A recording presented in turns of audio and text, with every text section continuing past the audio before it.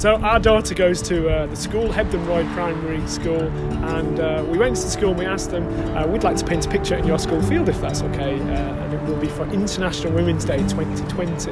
And they said, yeah, of course. So we said, who would you like to paint? She's a really inspiring person. She's not doing it for fame or money.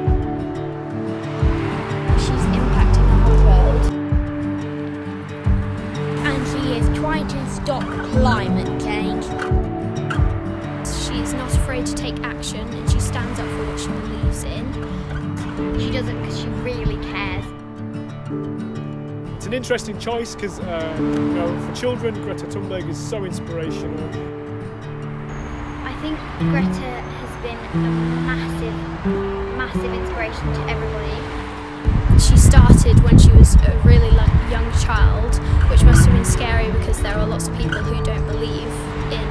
what she says, and she's she's really um, made an impact on how we see the environment.